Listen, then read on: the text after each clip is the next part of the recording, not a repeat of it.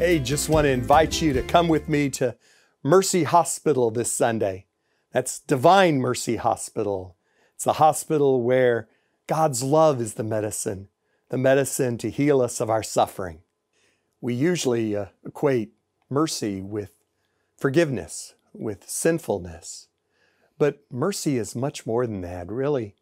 Really, mercy is love's second name. It, mercy is about that, that aspect of love when you, when you encounter someone you love that is suffering.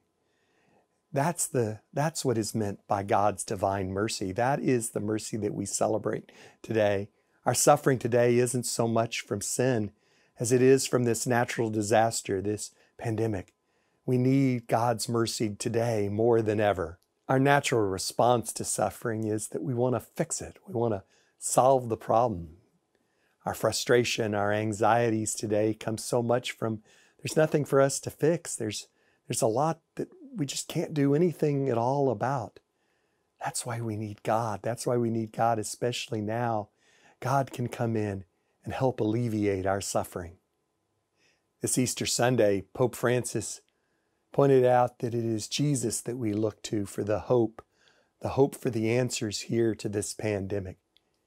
Here's what Pope Francis said that Jesus plants in our hearts the conviction that God is able to make everything work unto good, because even from the grave he brings life.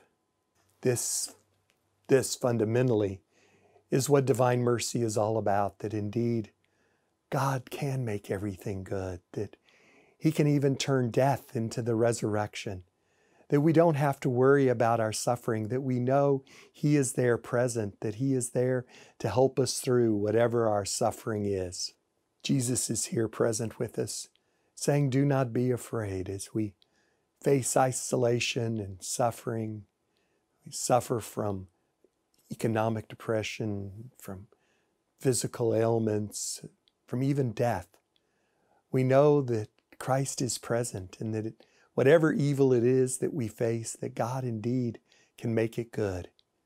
And so we trust in Jesus. We turn to Him.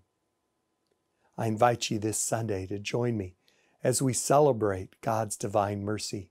That divine mercy that was put on display this Easter weekend when we celebrated Christ's death and resurrection. I invite you this Sunday to join us in making a consecration to divine mercy. We'll use Father Michael Gaitley's consecration prayer to God's merciful love based on St. Therese of Lisieux's offering to God's merciful love. Some of our uh, small communities here in the parish have been spending the last few weeks uh, preparing for this consecration, reading Father Michael Gaitley's book, 33 Days to Merciful Love. But you don't have to do anything to prepare. You just have to submit yourself to the faith. Submit yourself to the hope that Jesus Christ gives us. Submit yourself to God's divine mercy. So join us this Sunday as we make this consecration to divine mercy. And then after the Mass, we'll celebrate divine mercy with some family activities and we'll sing the Divine Mercy Chaplet. Join us this Sunday as we make a consecration to divine mercy and celebrate how great God's mercy is.